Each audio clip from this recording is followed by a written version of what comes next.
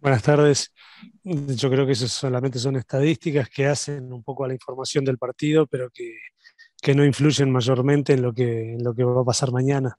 Así que este, es un poco la historia de, de este partido, pero lo que va a pasar eh, entre Honduras y El Salvador mañana lo van a escribir los futbolistas que van a entrar al campo y los rendimientos que tengamos las dos selecciones mañana. Así que eh, no, no, no, lo tomamos mayormente en cuenta y solamente a manera de información me parece que es, es bueno, pero, pero no como, como, como razones que puedan llegar a influir en, en, lo que va a ser el resultado del partido de mañana. Creo que el, el resultado está, el partido va a ser jugado por dos selecciones que recién están eh, iniciando la eliminatoria, parejas, este, donde cada uno con su potencial e intentando este, explotar las la, la falencias que podamos tener una y otra selección y ver, como, como siempre lo digo, este, ver quién de las dos selecciones puede imponer o quién eligió una estrategia y llevarla adelante en el partido.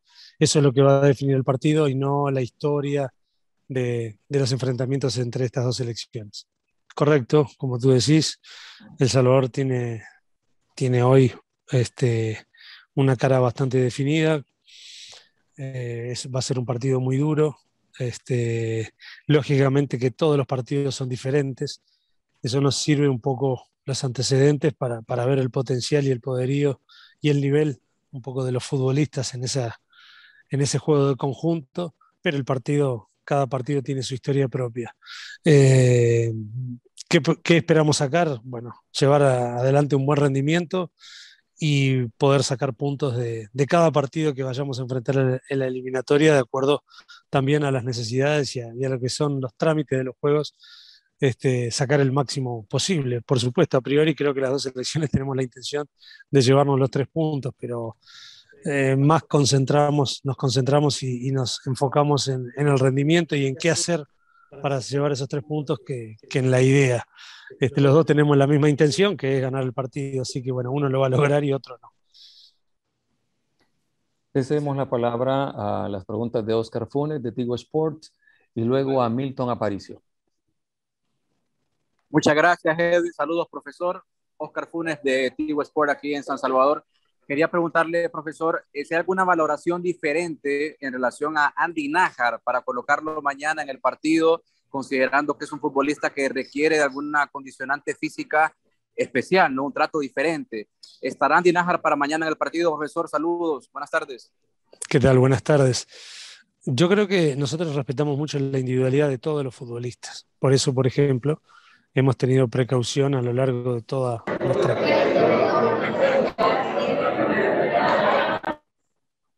a lo largo de toda nuestra, nuestra historia, nuestra corta historia en la selección hondureña, de respetar por encima de toda la persona este, y, y su estado eh, desde el punto de vista físico. Y también lo mismo que respondí en, en primera instancia, vamos a ver cómo, cómo ha recuperado Andy para saber en qué medida lo consideramos para mañana. Este, y eh, es verdad, él, él, está en una etapa de, de consolidación nuevamente de, su forma, de su rendimiento, de su nivel. Y, este, y sabemos que tenemos una seguidilla de tres partidos donde tenemos que estar preparados para, para los tres y no solamente concentrarnos este, en, en, el próximo, si bien lógicamente es el más importante, ¿no? Cada partido que tenemos por delante. También, luego del entrenamiento de la tarde, veremos este, qué, qué, qué, qué consideración tomamos de, de, Andy pensando en el partido de mañana. Eh, bueno, yo creo que la expresión de equipo, ¿no? No, no, no puedo hablar sobre, sobre nuestras fortalezas o sobre lo que debemos tener en buen nivel. Yo creo que para ganar partidos a nivel de eliminatorias hay que estar muy bien en, en, en, casi todos los aspectos, elegir la estrategia y llevar adelante la idea, diríamos que los aspectos tácticos, responder desde el punto de vista físico en esta seguidilla y en esta eliminatoria diferente a todas las demás, que es jugar tres partidos por cada ventana FIFA, nosotros hemos tenido, nos ha tocado en suerte jugar dos de visita, por lo tanto estamos viajando, jugando, descansando, viajando. Y, y por lo tanto del punto de vista físico estar lo mejor posible y sobre todo desde el punto de vista psicológico, ¿no? Este, estar claro en lo que queremos, tener este, asumir el desafío, el reto. Cada partido es diferente. Canadá tenía unas dificultades, el partido en El Salvador tendrá otras dificultades diferentes y bueno, intentar no dejar escapar nada para estar preparados para lo que, para lo que nos va a tocar enfrentar mañana de tarde.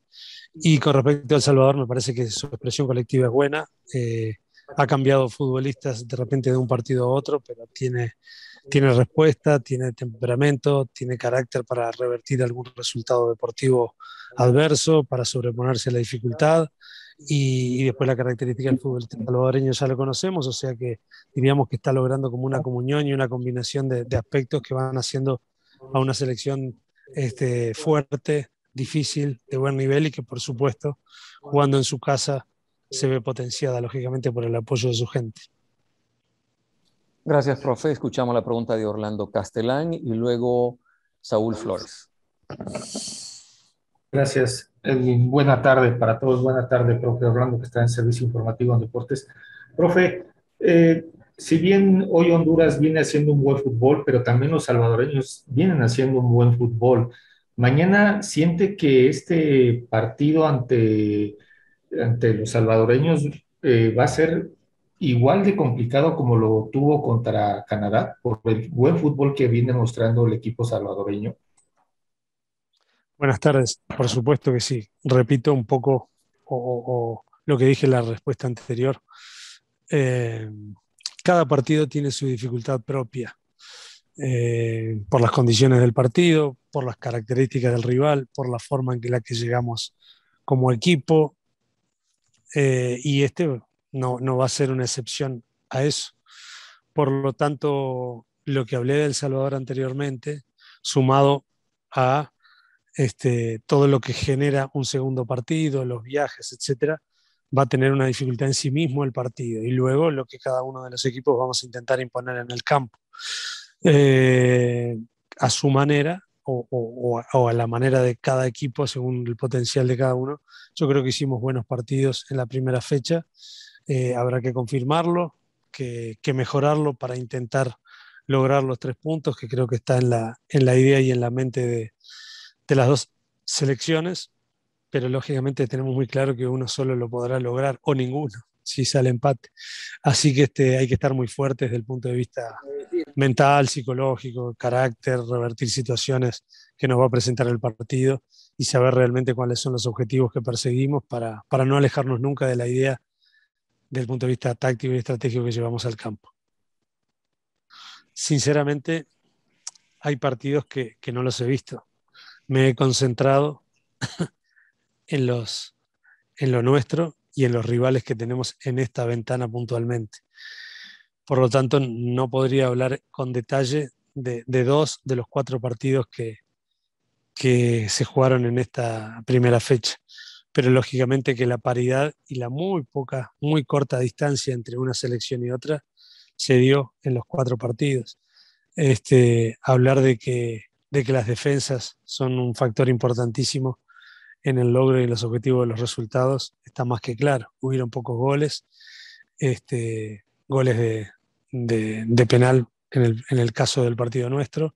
El Salvador, Estados Unidos no se pudieron, este, no pudieron hacer diferencia en ninguna de las dos selecciones, teniendo buenos futbolistas en el campo. Quiere decir que la eliminatoria en sí misma también encierra todo un, genera una circunstancia que, distorsiona muchas veces el, ideal o el mejor rendimiento de cada selección.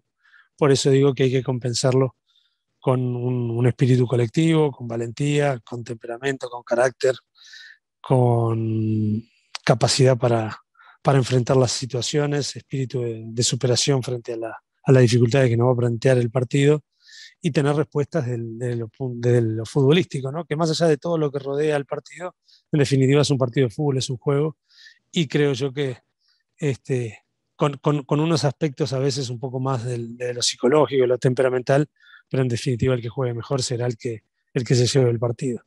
Por lo, por lo pronto en el partido nuestro así sucedió.